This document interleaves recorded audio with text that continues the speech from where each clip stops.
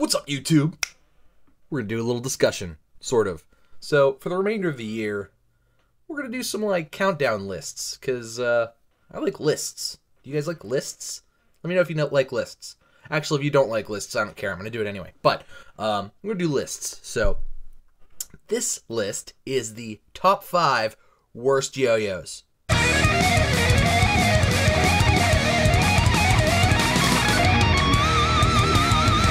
In my opinion. Unresponsive yo-yos, in my opinion. And I know there's been worse yo-yos before, but these are my top five worst yo-yos. Now, disclaimer, this is all opinion. If you like any of these yo-yos, that's fine. Doesn't matter. This is only for me. Top five worst yo-yos. Let's get started. Number five, the Yo-Yo Factory DV888. That's right. I'm sorry, I'm gonna get hate for this. Um, I think the DV888 isn't. It's bad. It's bad yo-yo. Uh, and I'll explain why. I'll explain why for all these, but this one, explain why. The picture's gonna shoot up on the screen. It's bad yo-yo for this reason. One, I realize it's outdated, but it's super outdated, and it still costs too much money. So uh, the responsive version comes in at 30 bucks, and it's small, it's heavy, and it kind of plays like a rock.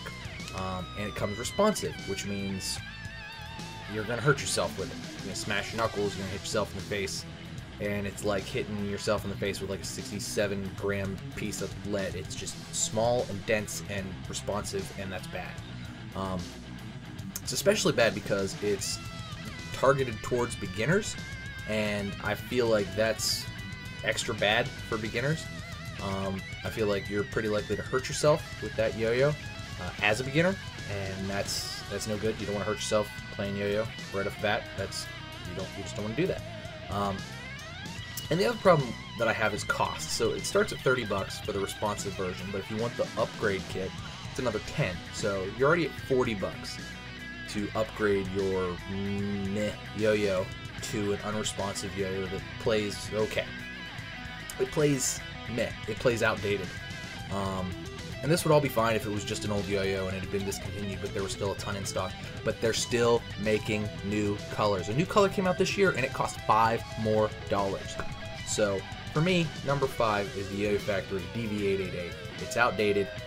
It needed to be revamped two years ago, but they just decided to pump out more colors and bump the price up an extra five bucks because it's a fun splash and they still target it towards beginners, and it's it's a bad beginner yo-yo in my opinion. So number five, Yo-Yo Factory DV888, worst yo, one of the, my top five worst yo-yos. Period. All right, number four. Most of you may have already guessed this, and I promise this is the last Yo-Yo Factory on the list. Most Yo-Yo Factories are really good, and especially most Yo-Yo Factory plastics, except this one, the Yo-Yo Factory Daydream. Here it is. It's terrible. It's so bad. I've had two of them. Both of them were sort of responsive. Both of them had really low spin times. And they both pretty much sucked right out of the box. Like, or a bag. Comes in a bag. Um, it's actually a better off-string yo-yo than it is a 1A yo-yo. It's just, it's bad. I, I've never played a good one and I've played a lot of yo-yos. You guys have seen. I've played a ton of yo-yos. You've seen a couple of daydreams. I've never played a good one. They've all sucked. They have wonky bearing seats. The gap is too small. They're sort of semi-responsive. At least the ones I've played have been sort of semi-responsive. And the shape is terrible. It's just it's it's bad. Um, they're tw about 20 bucks, and honestly, everything cheaper than it is better than it, except for like you know some of those like really junky things. But literally every yo-yo that you can get that's cheaper, Replay Pro, um, all the Magic Yo-Yo stuff, all that's better. The Daydream is just a, it's a it's a bad yo-yo, and I think Yo-Yo Factory is starting to phase it out. I feel like I see it for like 10 bucks getting blown out, so they're probably getting rid of it. They probably noticed noticed that it's a terrible yo-yo but uh, hate the Daydream. In fact, I, I hate the Daydream so much, I beat it up and I tried to smash it, and I threw it at the house. Um, it's a video that I did a while back. It was Tom versus Daydream. Go back and watch that. Um, one of my absolute worst yo-yo experiences, one of the worst yo-yos I've ever played. But uh, yeah, it's terrible. Yo-Yo Factory Daydream is number four on my list of my worst yo-yos. So that's that. Moving on, uh, you guys are gonna start to like these ones. They just get worse and worse. So while I've heard that people like the DV888, yeah, I'm drinking beer. I haven't drank beer on a, one of these in a while. Drink beer. It's dark. It's nighttime. Beer time. It's always the right time. Anyway, so these are going to kind of get worse and worse and worse, and let's start to say worse and worse things about them. My number three worst yo-yo is the Magic Yo-Yo N11 weight ring. This was one of my first medals, and I was like, at first, I was like, oh, this is this is okay, but I don't I don't really know what the, it's kind of slippy. It's sort of hard to bind, and it's got that weird center cut that just doesn't. I don't know what it does. It's not very good. It just seems to be there, and it seems to create a bigger gap, and make it harder to bind the yo-yo, and it's just overall not very cool. Uh, picture of it. So here's my problems with it. One, the finish is terrible. It's a very shiny, sticky, like almost spray painted type finish. Not only does it have a terrible finish, it's got really ugly, stupid engravings on it. It's like a skull and like a yin and yang, and it just it's it doesn't make sense. It looks bad. Um, it's a very like I said, the shiny, sticky finish is just it. It's not good for anything. It doesn't feel good to hold. It doesn't feel good to grind. It doesn't. It doesn't grind. I've had sh shiny plastic yo-yos that grind better than the Magic Yo-Yo N11 weight ring.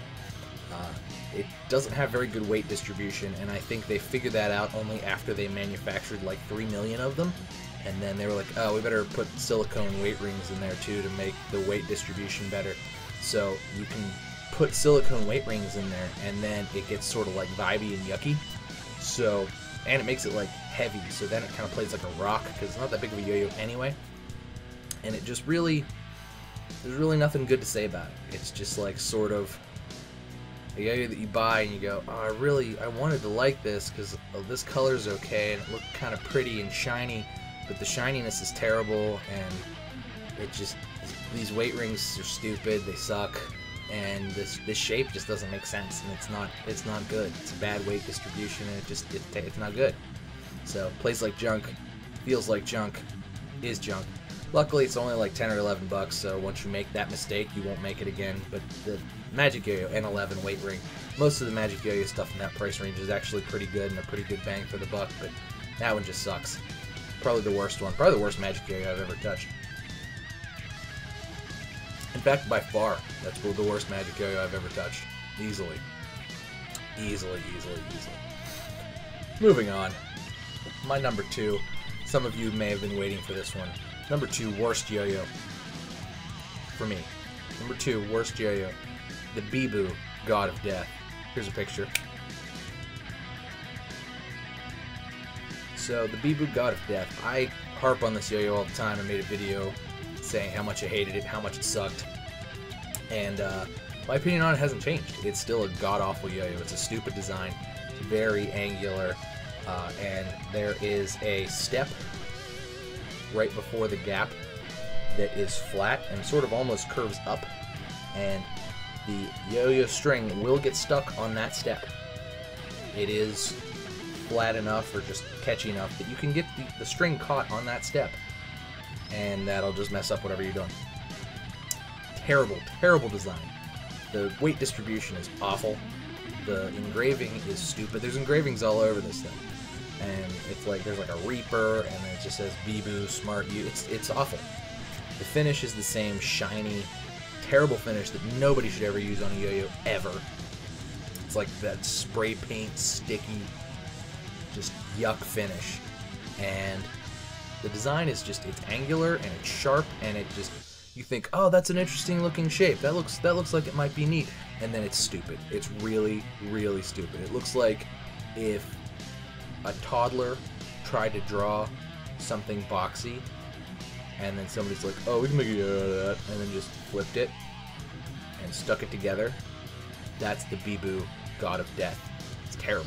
Oh, and the other problem with that is that it also shows up all the time on Amazon, even if you're not searching for it. So it like pops up like, oh, related items, and it's like, you know, you maybe just got a good yo-yo that was sort of in that $15 price range off of Amazon, like a Magic Yo-Yo N12 or something, and uh, that pops up, and you're like, oh, well, that must be good too. Seems like it would be good. the suggested thing, and then you get it, and it sucks, and you want to like it because you're like, well, maybe it's me, but it's not you. It's it's the BeBoo god of death.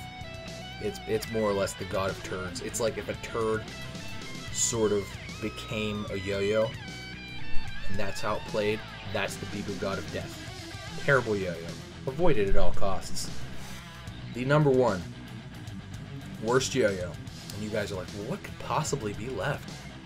The Sidekick Pro. That's right. Think about that for a sec. Here's a picture.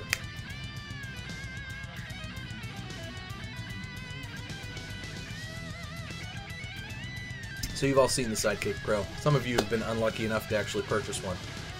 They're $30 and they are crammed into your eyeballs on Amazon if you ever buy any yo-yo anything. So hey, you wanna buy a Sidekick Pro? Hey, you wanna buy a Sidekick Pro? Hey, you wanna buy a Sidekick Pro? You wanna buy a Sidekick Pro? How about a Sidekick Pro? You like a Sidekick Pro? How about a Sidekick Pro? And you don't want a Sidekick Pro. You just don't. They're terrible. They say they come with a center track bearing. They don't. They come with a responsive slim bearing. And it's not even a very good one. It's a pretty shitty one. And they come with a really long axle. And it's terrible shape. With a terrible finish. It costs $30. It plays worse than everything that costs $30. Literally. It is the worst playing yo-yo of all of the yo-yos on this list. Every one of these yo-yos plays better than the Sidekick Pro. And I've just mentioned a bunch of terrible yo-yos. Every one of them is better than the Sidekick Pro by like a mile. The shape is stupid. The weight distribution is stupid. There's no rim weight. There's a lot of center weight. It plays kind of like a rock, a responsive rock that is also sharp and just a crap design. And honest to God, the worst part about it, actually, the two worst things about it are is that it costs thirty dollars. They make it look nice on Amazon because it comes in splashes and stuff, and they sponsor the product even when you're not looking for it. You don't you didn't search anything like that, but because you searched for a yo-yo, it's a sponsored product on Amazon, and it will show up in every suggested Amazon feed that you get, and it's awful. It's really really awful. So you're gonna pay thirty dollars for the worst yo-yo in existence, and Amazon will have sponsored it and told you you would have liked it.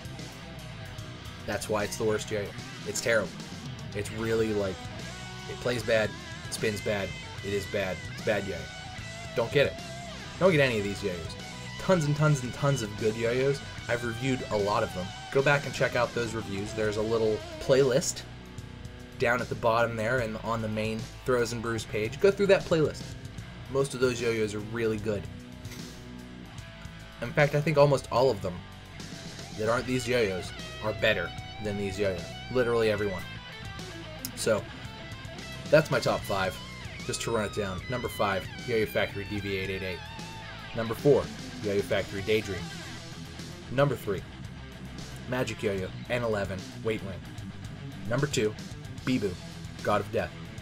And number one, the worst yo-yo I have ever touched. And a yo-yo that I'm glad I never actually paid money for, the Sidekick Pro. Terrible yo-yos. Don't get them. So, when you're shopping for yo-yos this holiday season, make sure you avoid these like the plague. Get lots of, there's lots of other good yo-yos to get. Like I said, go ahead and watch my reviews. Check them all out. Uh, also, important to note, there's none of these terrible yo-yos on Yo-Yo Best Buy, of which I am an affiliate. So, just just throwing that out. For you guys. I do it for you. Anyway, guys, thanks so much for watching. Make sure you like and subscribe because there's going to be more lists coming. You know you want more lists. I want more lists. I like talking about it. Thanks for watching, guys. Cheers to you. I'll see you next time.